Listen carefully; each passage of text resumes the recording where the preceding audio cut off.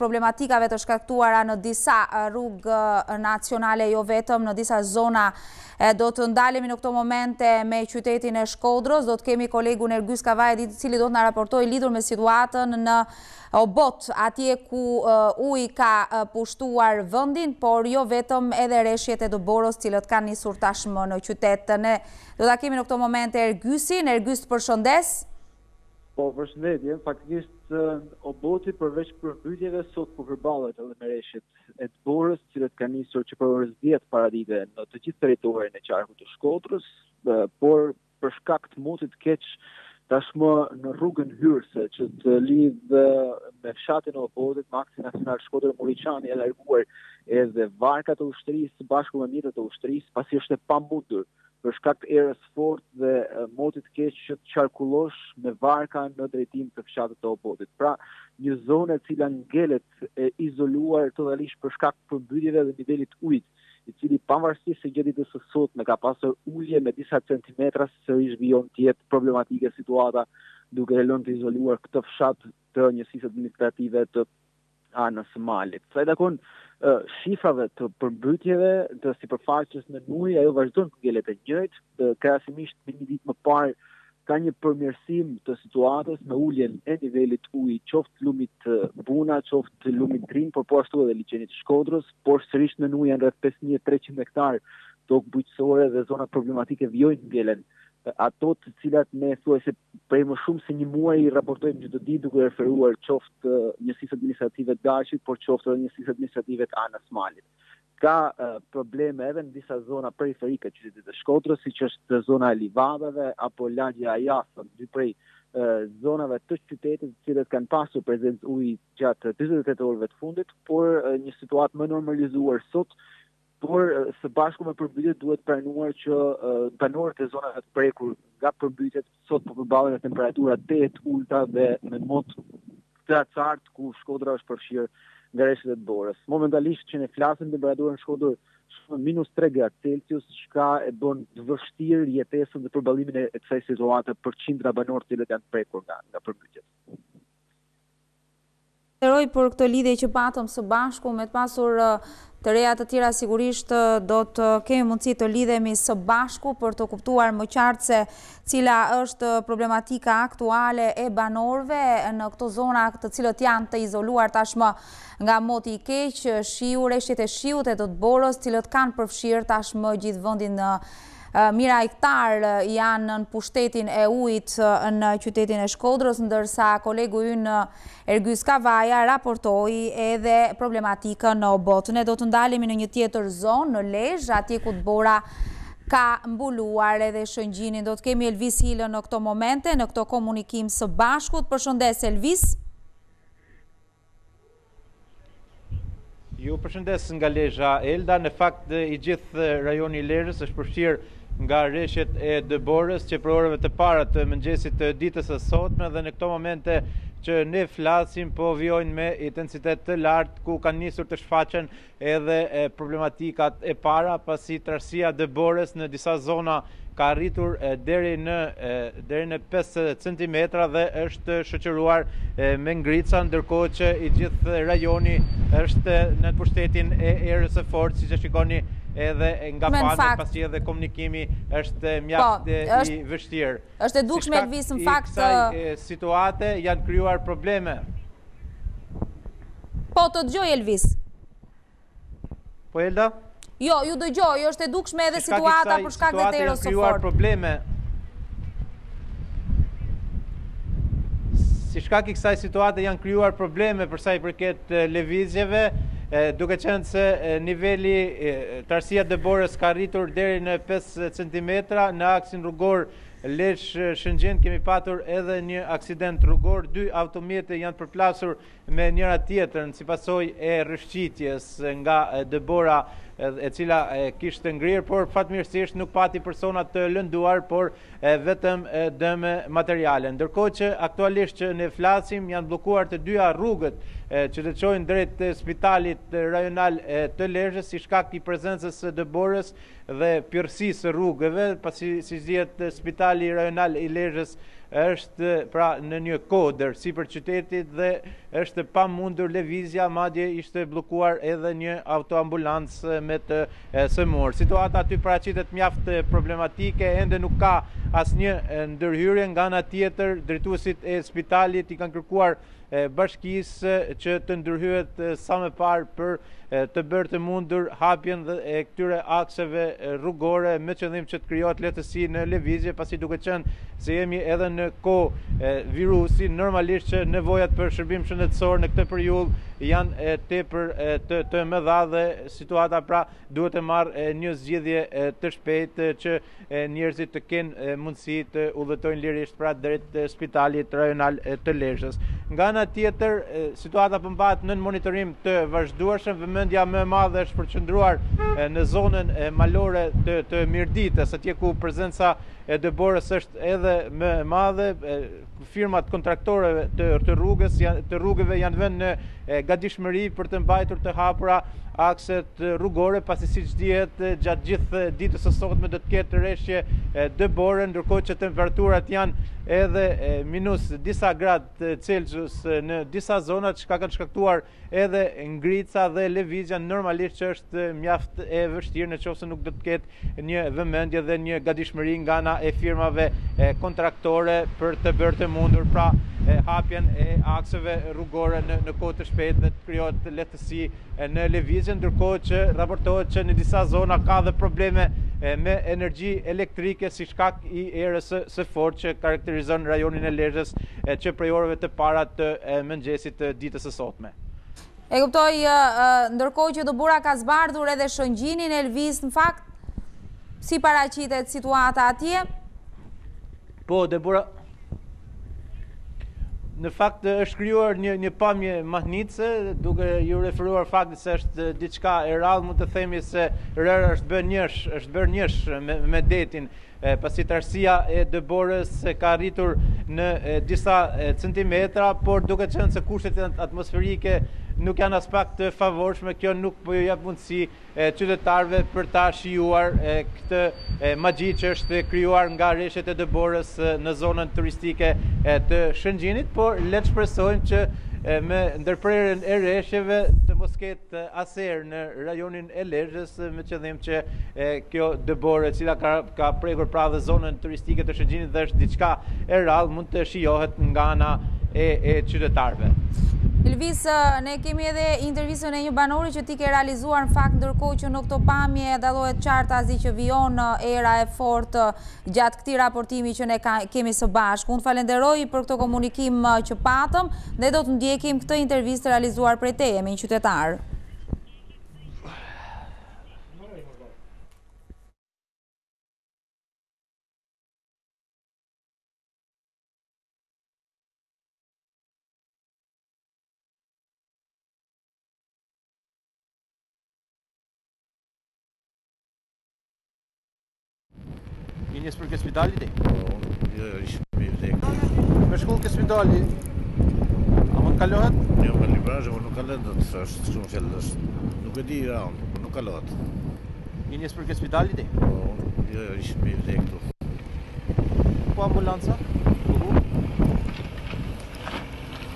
Qa më të them, se nuk e di rrallë. Ku të merren masa?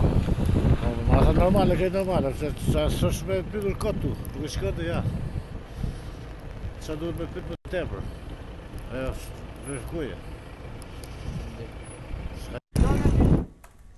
Ka qenë kjo një intervistë e realizuar pak më herët nga kolegu Elvis Hila lidhur me situatën që ekziston në Lezhë e cila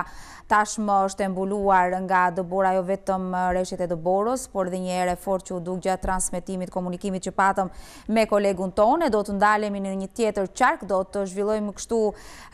komunikime maratonë lidhur me situatën e problematikën pas reshjeve të dëborës që kanë pushtuar vendin edhe reshjeve të shiut gjithashtu do të ndalemi në qarkun e Korçës ku reshjet e dëborës pra në në qytetin e Korçës ka shumë probleme për sa i përket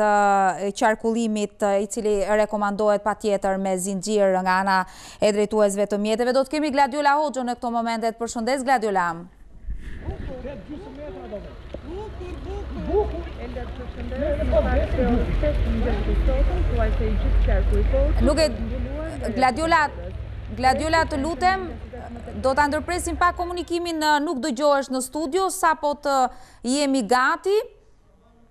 Ne ndërkohë jemi duke parë se cila është situata që paraqitet në qytetin e Korçës e mbuluar nga dëbora tashmë. Qarkullimi për të gjithë drejtuesit e mjeteve rekomandohet me zinxhirë tek Qafa e Qarrit, rruga e Dardhës, gjithashtu në rrugën Voskopojë, Voskop për mjetet e transportit për për për mjetet private, personale, informacione të tjera të cilat vijnë për sa i përket situatës në këtë qark, në qarkun e Korçës. Kemi Gladiolën në këto momente. Po, ne do të presim pak duket për shkak edhe të situatës problematike që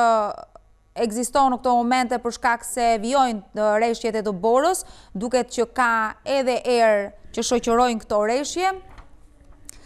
Edhe në Kolonjë 7 mjete kanë mbetur tashmë të bllokuara në Qafën e Qarrit, aty ku paraqitej problematika më e madhe për sa i përket qarkullimit të automjeteve, që gjithmonë rekomandohet për të përdorur zinxhirë, duket se 7 automjete tashmë kanë mbetur të bllokuara në Në qa, në Qafën e Qarrit, në qarkun e Korçës ku problematika nga moti i keq me këtë situatë reshjesh duket të jetë më e madhe se në çdo zonë tjetër të vendit. Ne kemi patur më herët edhe lidhje të tjera me kolegët tanë, me Ergys Kavajën raportuam nga Shkodra, sigurisht edhe me Elvis Hilën nga qyteti i Lezhës aty ku është mbuluar nga dëbora e veçanta ishte se Edhe Shëngjini është mbuluar nga dëbora, e cila ka zënë vendin e rërës në fakt në bregdet. Ne do të ndalemi për të raportuar kështu situatën në qytetin e Korçës, ju jeni duke ndjekur pamje të realizuara pak më herët lidhur me atë se çfarë Po ndodh në këto qarqe, ne do ta kemi Gladiolën në këto momentet. Përshëndetje edhe një herë Gladiol. Elda përshëndetje sërish, në fakt prej orës 5 të mëngjesit i gjithë qarku i Korçës është mbuluar nga reshjet e borës. Reshjet kanë qenë me intensitet më të lartë, por të shoqëruara edhe me erë të fortë, kryesisht në zonat malore, sikurse është Dardha, Voskopoja, por edhe Erseka. Në këto zona në fakt trashësia e borës deri në këto momente sipas edhe të dhënave zyrtare ka shkuar deri në dhjetë centimetër. Ndërkohë që sikurse mund ta shihni edhe në këto pamje reshjet vijojnë të jenë prezente edhe në këto momente. Sigurisht që firmat kontraktore kanë qenë në terren prej orëve të para të mëngjesit duke punuar me borë pastruese por edhe kriposje në mënyrë që të gjitha rrugët të jenë të hapura dhe mos ketë probleme në qarkullimin e mjeteve. ku pavarësisht kësaj u bëhet thirrje të gjithë drejtuesve të automjeteve që në disa akse, sikurse është në fakt Qafa e Qarrit, segment ky që lidh qytetin e Korçës me qytetin e Ersekës, në rrugën Voskop-Voskopojë që të çon drejt fshatit turistik të Voskopojës, po gjithashtu edhe në rrugën Boboshticë-Dardhë që të çon drejt fshatit turistik të Dardhës, rekomandohet domosdoshmërisht vendosja e zinxhirëve por gjithashtu drejtuesit e mjeteve duhet të jenë të pajisur edhe me goma dimërore. Kjo në fakt sepse në këto zona, sikurse e thashë, reshjet janë me intensitet më të lartë, trashësia e borës ka shkuar deri në dhjetë centimetër, ndërkohë që në disa në disa pjesë të këtyre segmenteve rrugore ka edhe prezencë të akullit, sepse duhet thënë që edhe temperaturat kanë pësuar ulje të ndjeshme në vlerat e tyre. Nuk ka në fakt probleme të tjera sa i takon qarkullimit rrugor ose segmenteve të tjera Pra qarkullimi, pra kalueshmëria e mjeteve është normale, ndërkohë që problematike mbeten vetëm këto zona të cilat ne përmendëm, sikurse është Qafa e Qarrit, rruga Voskop-Voskopojë, por gjithashtu edhe fshati turistik i Dardhës. Ndërkohë Elda më duhet të theksoj gjithashtu Dyqind banorë ose njëzet familje të fshatit Panarit në bashkinë e Korçës vijojnë të jenë të izoluar prej më shumë sesa një muaji. Që në reshjet e para në fakt të vitit 2021 pra në fillim të janarit, ky fshat është izoluar thuajse totalisht nga bora. Trashësia e borës shkon diku tek një metër, kryesisht në fshatin Shtyllë, fshat në fakt I cili lidh pikërisht fshatin e Panaritit me qytetin e Korçës, duke mos u lejuar këtyre banorëve asnjë mundësi komunikimi me qytetin, por edhe me fshatra të tjerë përreth fshatit Panarit. Gladiola, të të pyes... Banorët vetë kanë bërë thirrje të herëpashershme, në... Të të pyes se nuk janë vetëm 200 banorë sikurse ti e përmende të bllokuar tashmë në Panarit, por janë edhe 7 automjete në Kolonjë, në fakt të bllokuara si rezultat i situatës nga reshjet e dëborës. Ka pasur ndërhyrje nga autoritetet për të zhbllokuar këtë situatë?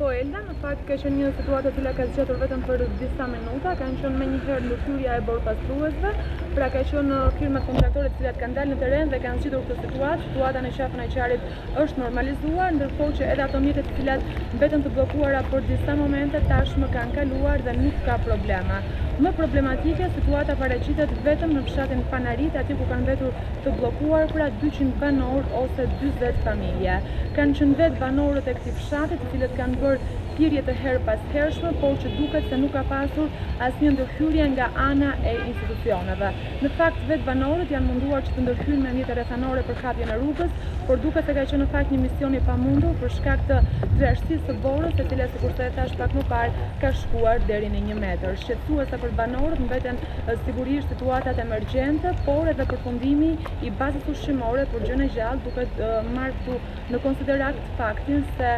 prej tyre ata në fakt sigurojnë edhe të ardhurat kryesore për familjen. Unë të falënderoj Gladiola për gjithë këtë raportim që patëm së bashku në këto momente, teksa na njohe pikërisht me situatën nga reshjet në qarkun e Korçës. Problematika, reshjet edhe në qytetin e Elbasanit. Atje duket pak më e normalizuar për shkak se reshjet e dëborës nuk kanë ngjitur në qytet, pasi janë të shoqëruara dhe me reshje shiu. Do të njihemi me situatën nga afër në këtë komunikim që do të kemi së bashku me kolegun Ronaldo Gjoshi. Të përshëndes! Elda, të përshëndes, sapo ora ka shkuar njëmbëdhjetë e mesditës, reshjet e dëborës kanë filluar dhe në qytetin e Elbasanit. Ndërkohë, deri në këto momente nuk ka, nuk ka rrugë të bllokuara, por vetëm rrugë të kaluara me zinxhirë, siç më është bërë dhe dje nga ana e prefekturës së Elbasanit. Deri në këto momente akset nacionale dhe akset rrugore rurale janë të kalueshme me zinxhirë siç janë këto lartpërmendura. Aksi rrugor Elbasan-Prenjas, Elbasan-Qaftan janë të kalueshme me zinxhirë për shkak se reshjet e borës janë me intensitet të lartë në ato zona. Ndërkohë, për sa i përket në më afër qarkut të Elbasanit, zona e Gjinarit, fshati Godolesh, por edhe disa fshatra të tjerë janë janë më shumë të prekura nga reshjet e dëborës dhe qarkullimi deri në këto momente është sado pak i ndaluar nga ana e automjeteve për shkak se reshjet e dëborës janë në intensitet të lartë. Ndërkohë që Policia e Shtetit së bashku me Emergjencat Civile dhe grup pune nga ana e Prefekturës së Elbasanit janë në terren për të monitoruar situatën dhe të informojnë qytetarët por edhe drejtuesit e automjeteve të cilët të vendosin zinxhirë por edhe të udhëtojnë me kujdes.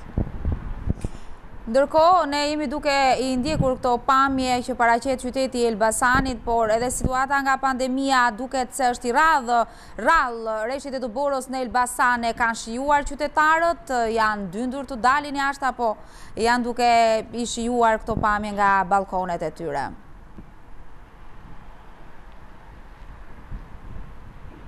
Në fakt Elda gjatë një monitorimi që kam bërë në qytetin e Elbasanit për të parë se si është